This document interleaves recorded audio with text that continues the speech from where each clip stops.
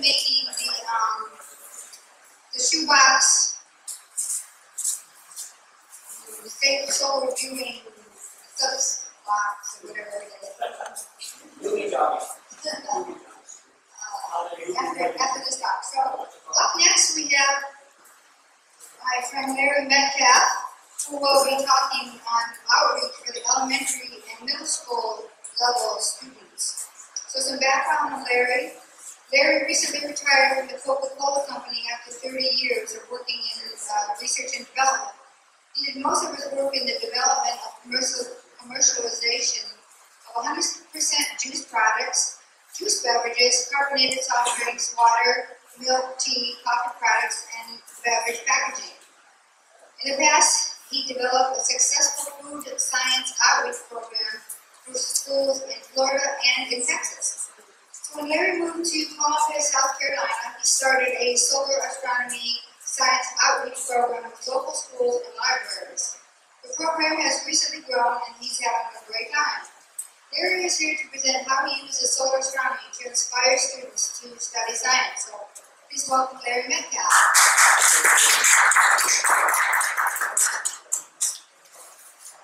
Thank you. Very, very kind. Um, yes, so I, I worked at Coke for 30 years, mostly orange juice, and uh, Coca-Cola Company was very supportive of us doing outreach, even on company time, when we had time, at school. So had a, we had a very successful program in Florida on food science, which is something that people don't know about. I mean, I was, uh, when I joined, I never even heard of getting a degree in food science. You can actually get a degree in that, or package engineering. So it's a lot of fun. When I retired, my wife said, Are you going to keep doing orange juice talks in schools? And I said, No, I, I, I don't want to see an orange again.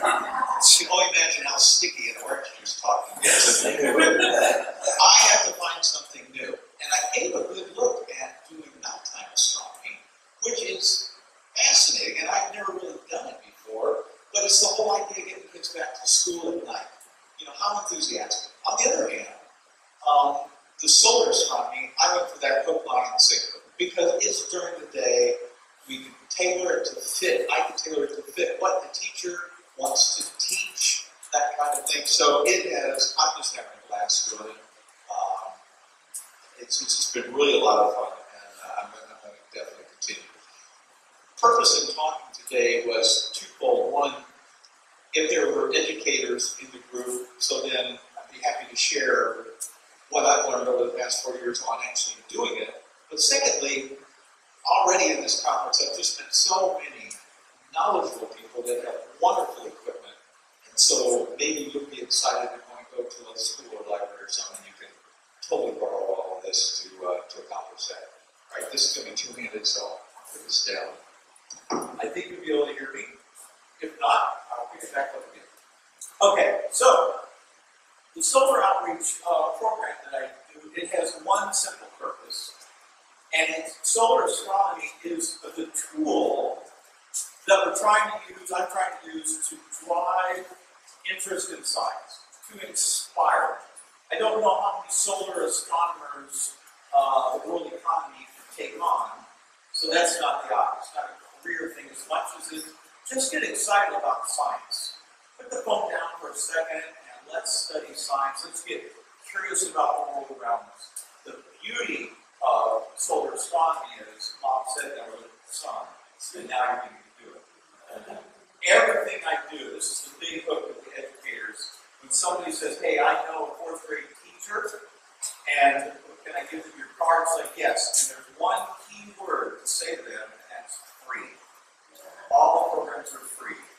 Just go to the school, and that has really helped a lot. You can see it, it's it's been growing, and every student gets a pair of glasses, and that's what I count. So 2015-16 school year, I gave out about 11,400 pairs of glasses between the schools and the things. Keep in mind, I have no job. This is what I do. It's really a lot of fun. South Carolina, they've gone away from the core curriculum. They teach astronomy, they touch on it in first grade. Then again in fourth grade, they give it a pretty good hit. and then in eighth grade again. So my target is fourth and eighth grade, because quite frankly, first graders really have a lot of trouble looking through the telescope. I'm sure if you had a first grader, they'd be just fine, but typical first graders don't want to any moms and grandmas, so you're, you're phenomenal, but a lot of them can't. But fourth grade definitely could use a telescope, and so again, eighth, that's the target. Happy to do high school, I've done a number of big sixth grade classes, but sixth grade's biology, so it's really not on target. What I offer up to the teachers, as I look at it, is a buffet.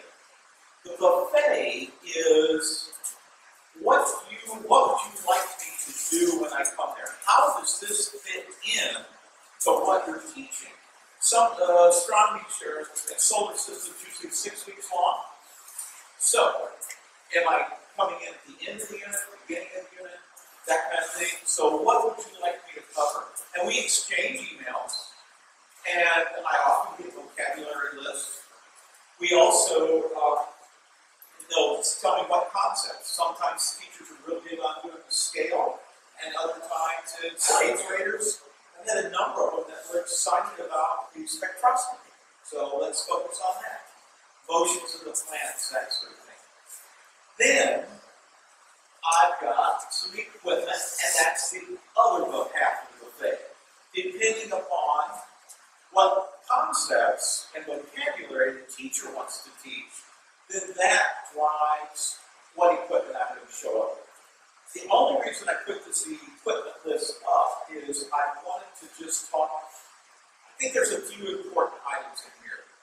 First of all, the solar glasses, every student gets a pair. You can do this without solar glasses. That, that is my really only ongoing expense. You can have a very successful program going to schools or libraries and not even use solar glasses.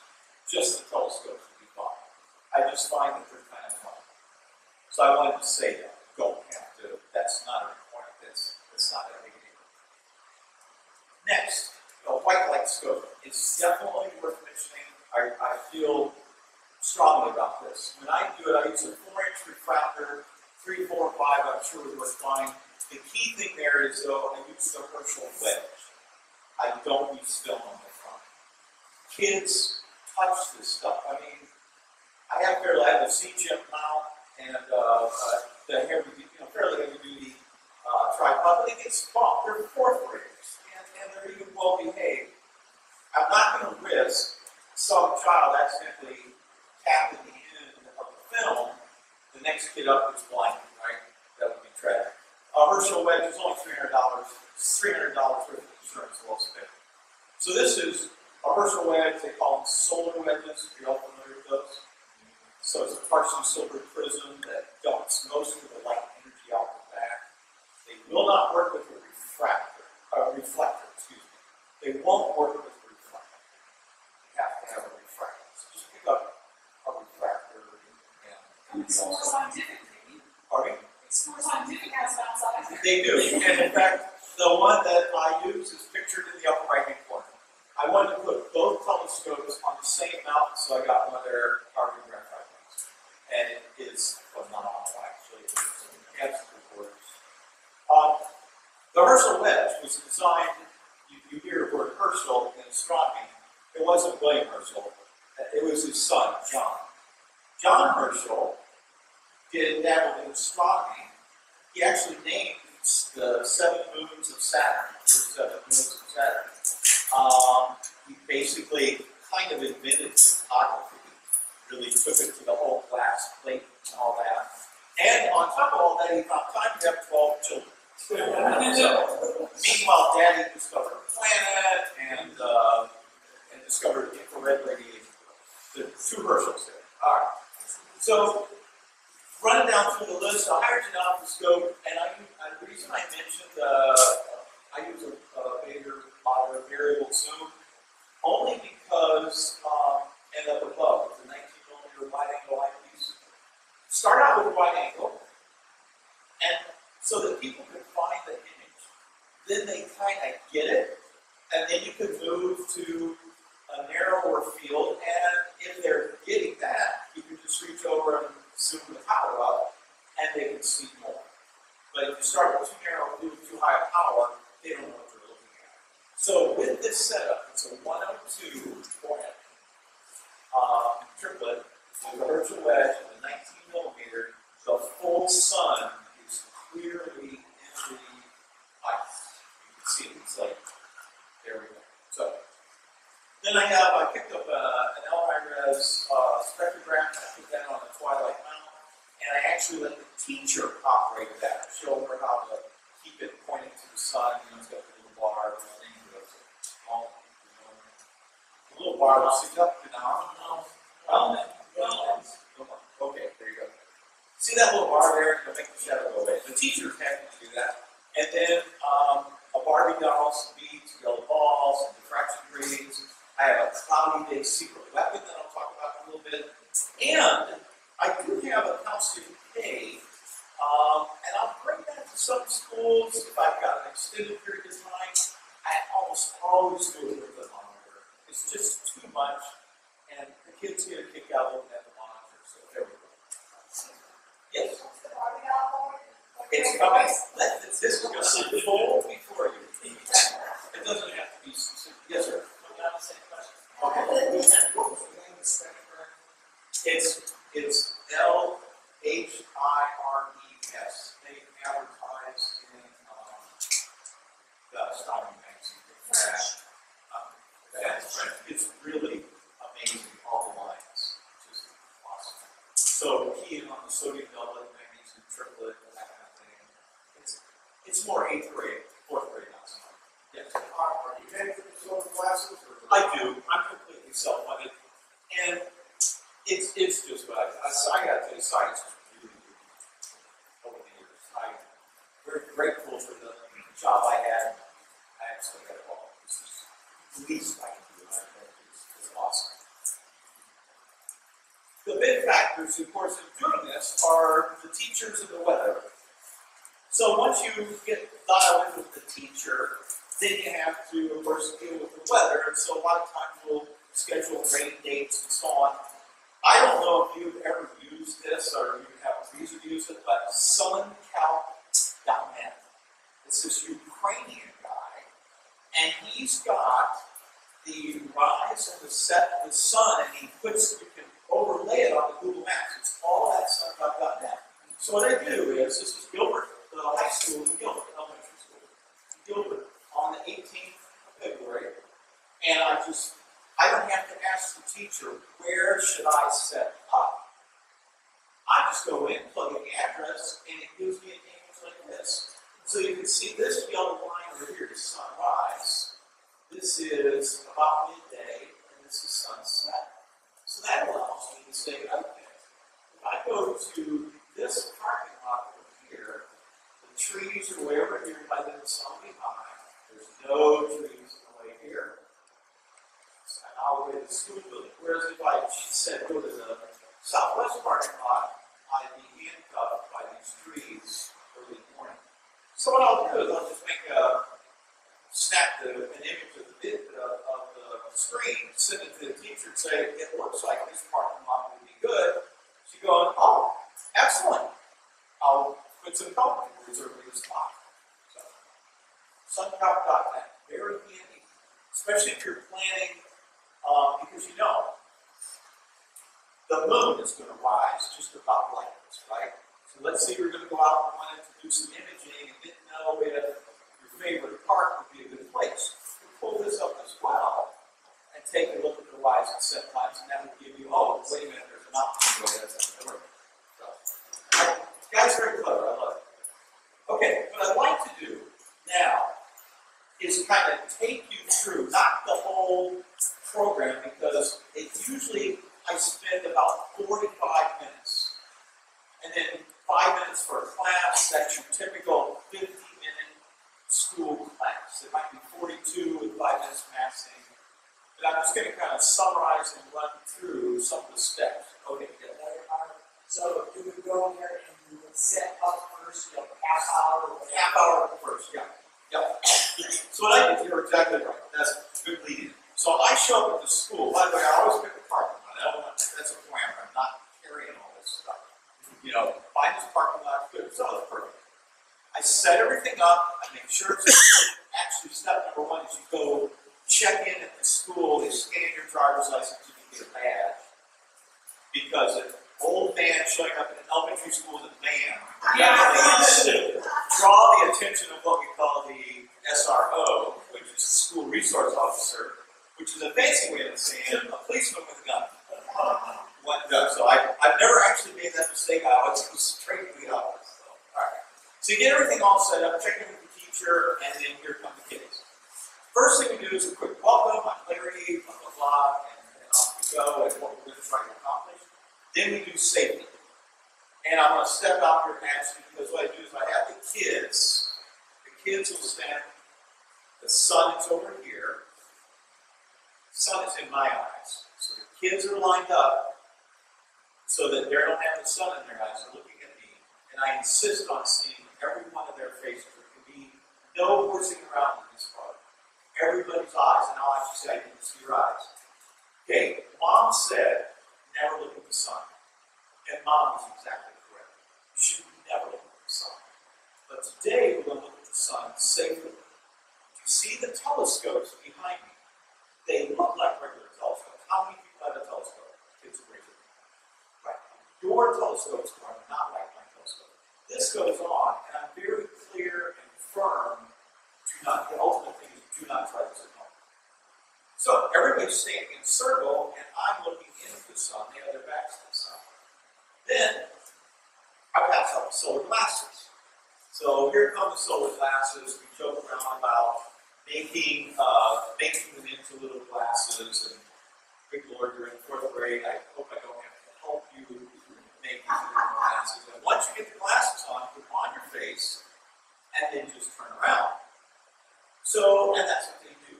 Now, they're very excited. I cannot tell you how wound up these kids get when they first put on solar glasses.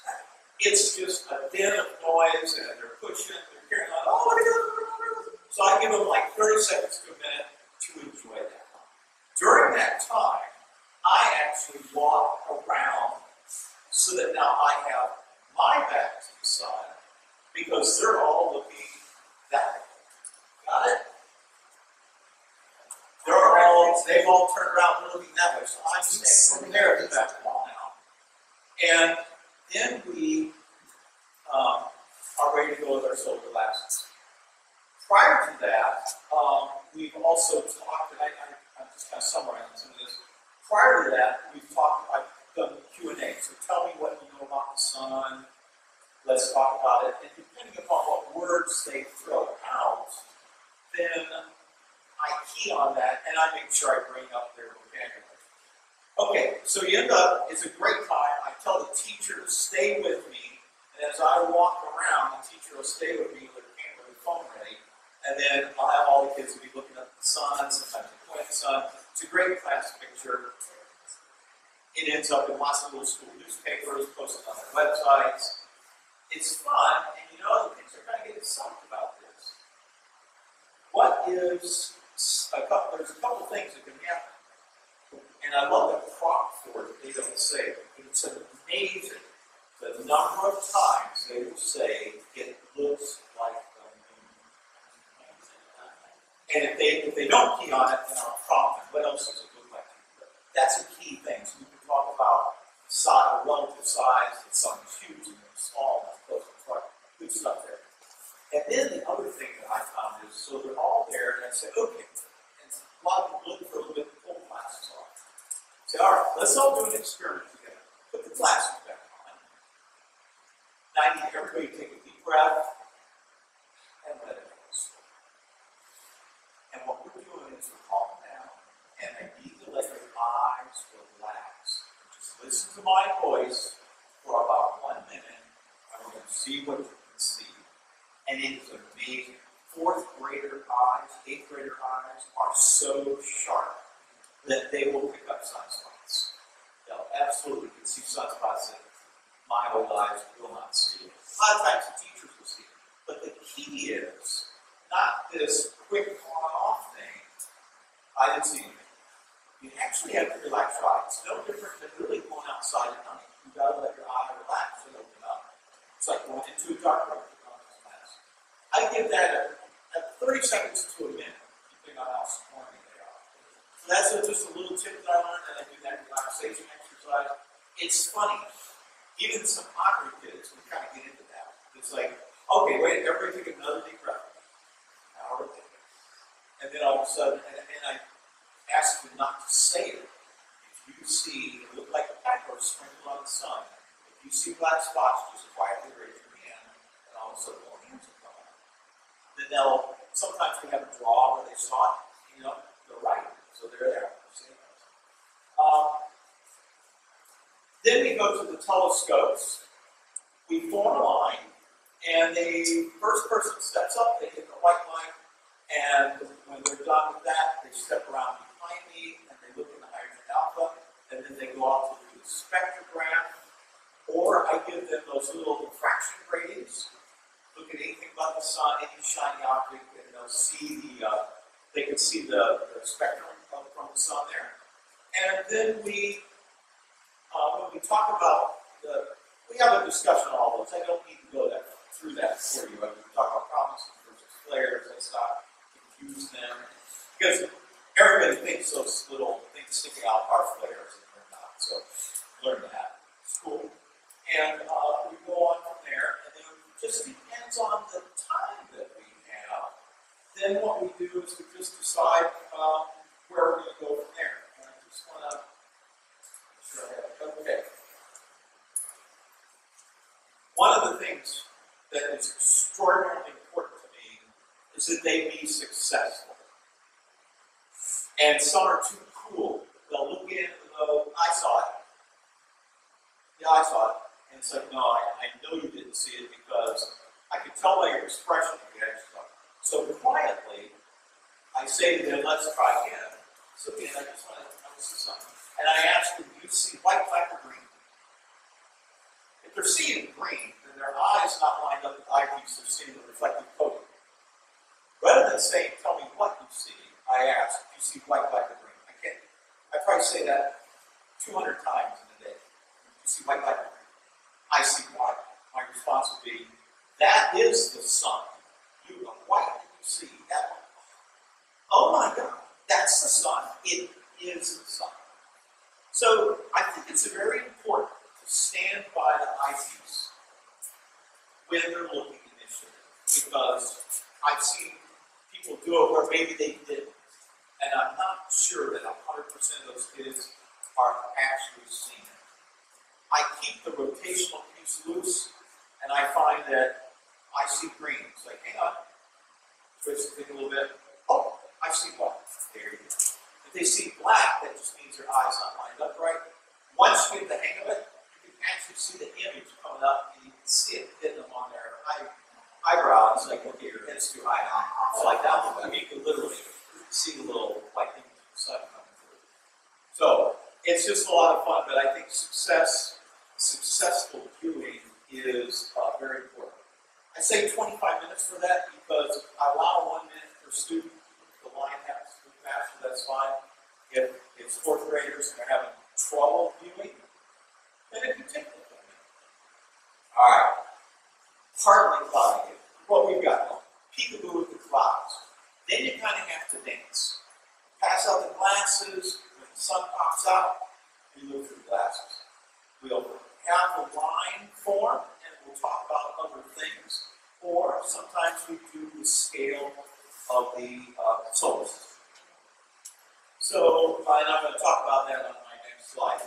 The other thing that I find that's interesting, that will kill a little time without actually us all leaving, is to talk about the telescope, the mount. So I start off as simple as this, and I got to you, I do this at library students. It's amazing how many adults get tripped up on this. It couldn't be more simple. So there are four directions: north, south, east, and west. Is. And I'll say the sun rises in the, and you hear everybody will say the east. And it sets in the, and I start that rhythm going, blank, and it sets in the blank. Now I go, okay, how about the moon? It rises in the, and I leave a blank, and us, even with adults, I'll get five or six different answers. There's only four choices. I don't know. but it's like, well, no, it rises in the east, and it sets in the north. And then I'll do one more. I'll say, okay, let's pick a planet like Jupiter. Jupiter rises in the big blank, and at that point, a number of people will finally pick it up on and go east, and it's like, yeah, it sets in the, and it's like, okay, and then, but now here's something you know the answer to. Remember, I'm talking to fourth graders. Everything seems, from our point of view, everything seems to rise in the east in the west from our point of view. Except for one star that mariners have used to guide their ships at night for thousands of years. And most people say, oh, the North Star. At least one child will say that. So that's cool. So we'll talk about that. Yeah, the North Star. It, it's basically pretty much close to the north, and from our point of view, doesn't appear to move. Everything else moves. Oh, is it moving or are we moving? And we clarify that we're doing most of it. Sure, there is motions in the heavens, but it's us that's moving. How fast are we moving? Wow, I don't know. You know, it's like, well, in South Carolina, it's an easy little map problem. South Carolina, you're moving 856 miles an hour east. Uh, further north, less here, you're moving about 810 miles an hour east. And I point to where it is. Then, a quick talk about the mountain. There's a mountain that looks so mystical, hard to operate. It's just doing that. So I'll reset it back to pointing it north, and somebody will say, I hope, they'll go, how did you point that north at the North Star in broad daylight? Well, I used compass. There we go. I did find a viable compass. Better than the one on my phone that was off. So, all right. So there we go. So anyway, it's a nice little exercise, and I think you will be surprised if you try this in an event. How interested people are in seeing the way the telescope works and the amount, equatorial amount. Because then I'll put it back and I'll say, okay, go find the sun, and it goes over and like, I get it. it it's it's not magical, it's simple, right? Just very. Okay. So you have questions on that? All right, here we go. This will this will unfold why we've already. All right, what I do is I start off my talk, and it, I don't know, I'm open to suggestions, but I've been doing this for a while, and the kids seem to remember it. Do you know what a scale model is? Scale model. Some do, some don't. So, well, what I've got is one of the most famous or infamous scale models that there is. Which, and of course, you knew this isn't Barbie, it's actually Elsa. I could not find Barbie I left. It's Elsa. Right, just let it go. We're working together on this, aren't we? Gold never bothered me anyway. So, um, so I bring out Elsa or Barbie. They are a, a doll that they are six to one. One inch on the doll is six inches in real life. And the scale model is one to six. So then I just stand, go to it, and, and everybody's like, oh, okay. And so, so if Elsa were really a human, she would be in one, two, three, four, five, six. Elsa would be slightly smaller than me, but a little bit bigger than Johnny standing here. And that's this is a scale model, probably one of the most famous scale models. Now you don't want to be like Harvey. I mean, look at her feet. That's so. Her neck is to our head.